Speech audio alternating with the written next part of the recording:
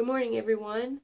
It is the day after retreat, and I just wanted to show you some of the layouts that I was able to do. I was doing homework until the very last possible minute, so I didn't have too much planned, and then when I was planning Friday morning before retreat, I ran out of photo paper, so there's a uh, layout in here without photos on it. But I wanted to show you what I was able to do, and I'm so excited to be able to, to have been able to scrap again. So, here we go.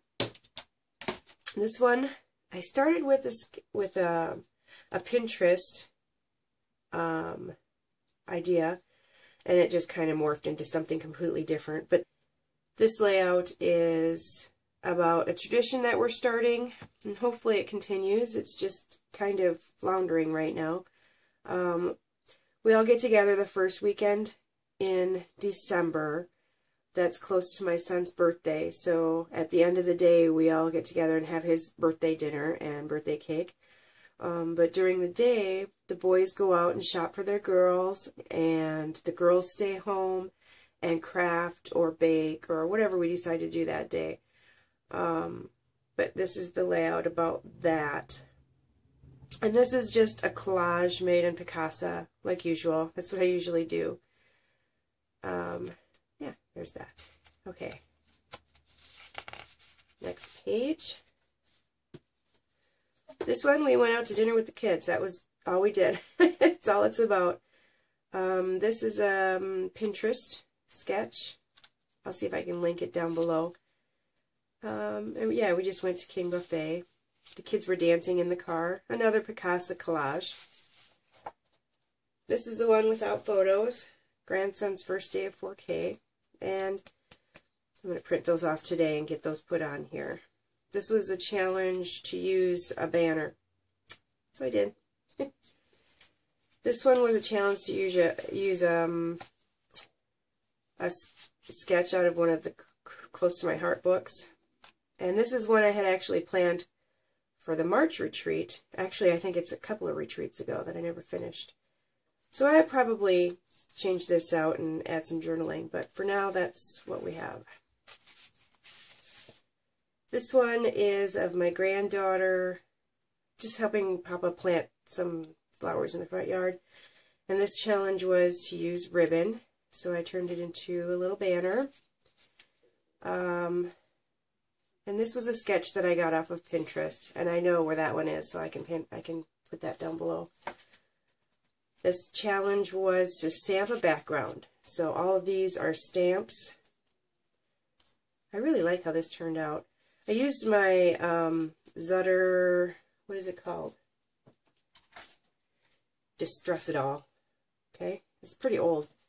But I used that. Everyone was excited to hear. It makes it sound like I can't even describe it to you. It's really loud. It sounds like a workshop.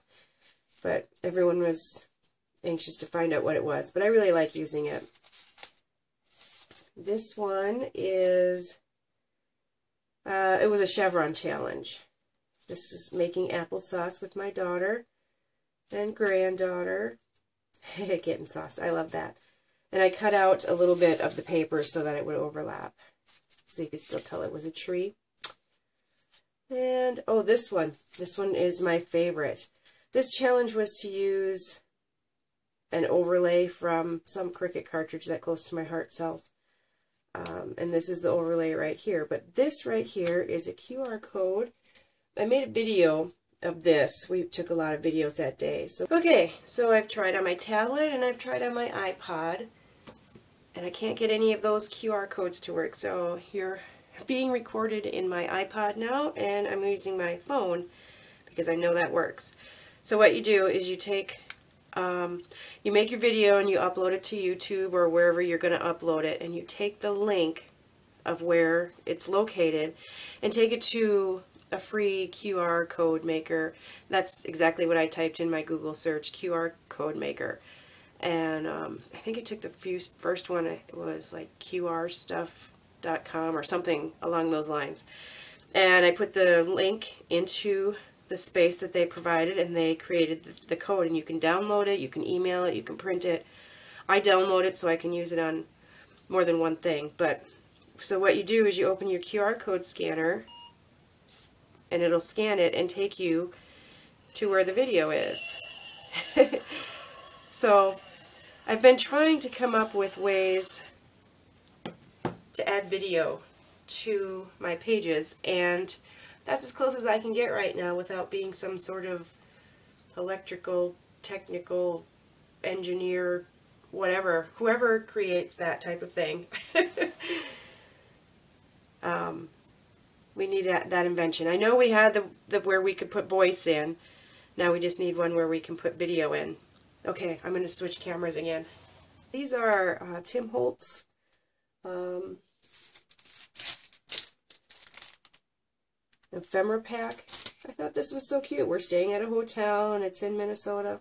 Fun time. Anyway, next page is um, a YouTube video that I saw is where I got the inspiration for this.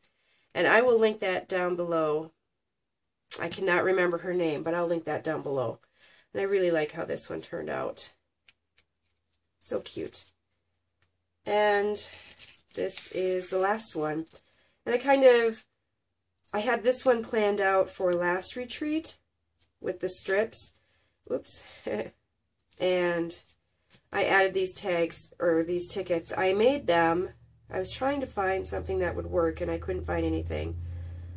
We had no one at the retreat had a ticket punch, or and I did not feel like looking through all those Cricut cartridges that they had, so I just made them. Just took a little corner rounder and cut the corners out to make it look like a ticket. Anyway, I did these two one right after another and didn't realize I had already planned that like six months ago.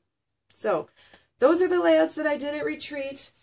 I'm so happy to be scrapping again and so happy to have given you two videos in one month. it's a good deal for me. And I will see you next time. I probably won't be able to make another video for about a month or so once school is out. At this time, I'm all caught up with homework, but I can feel that I won't be that way for long. so, I'll see you next time. Thanks for watching.